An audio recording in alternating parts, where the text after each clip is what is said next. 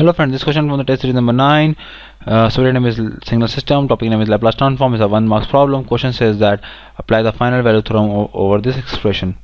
Final value theorem says that limit t tending to infinity ft is basically equivalent to the limit s tending to 0 s of fs. This is the final value theorem. So normally we do apply this final value theorem here.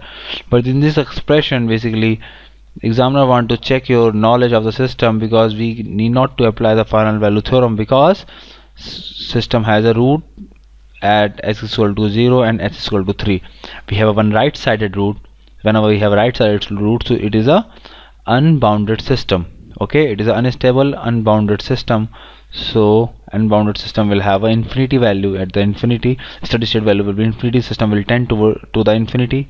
So basically it's an unbounded system. So option b is the answer.